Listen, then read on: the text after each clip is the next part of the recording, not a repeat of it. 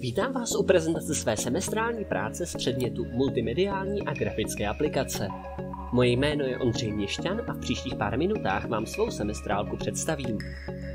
Jako téma jsem si vybral Jindřichohradecké úzkokolejky, které jezdí na tratích v Jižních Čechách a jsou zde vyhledávanou turistickou atrakcí. Konec neplacené reklamy. První částí semestrálky byla fotomontáž. Proto bylo důležité co nejlépe připravit strojové fotografie tak, aby poté nebylo třeba již při samotné fotomontáži napravovat nějaké zásadní chyby.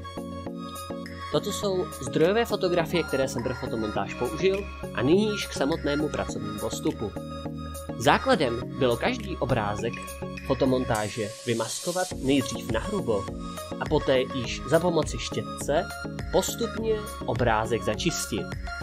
Poté vložit mou maličkost, nějaké ty efekty a zde již vidíte celkový výsledek. Pro druhou fotomontáž z jiného úhlu jsem použil prakticky stejný pracovní postup, zde ukázka fotografií a výsledná koláž vypadá takto. Druhou částí semestrálky byla vektorizace. Jako podklad jsem použil obrázek z předchozí části.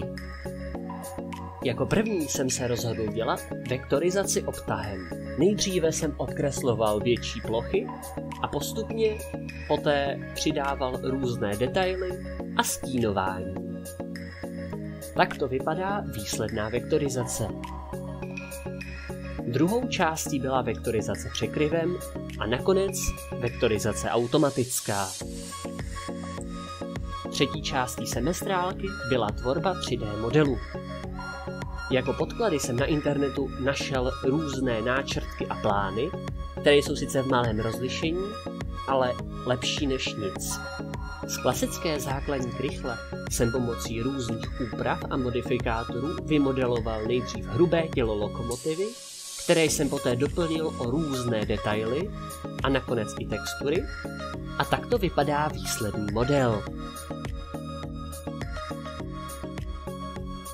Děkuji vám za pozornost.